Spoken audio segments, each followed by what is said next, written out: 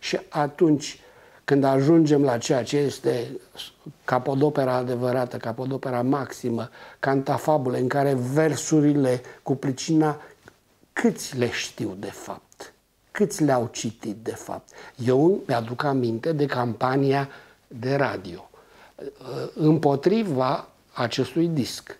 Se spunea versurile și erau uh, Uh, realizatorii emisiuni pe care îi urmăreau. Erau între puținii care dădeau muzică bună și pe care puteai să urmărești. Dar probabil că a venit o directivă și spunea de versurile care sunt uh, abracadabrante, că nu de se înțelege nimic, ah. da, că pentru cine sunt lucrurile astea, dacă te luai după chestia asta, trebuie să te duci acasă.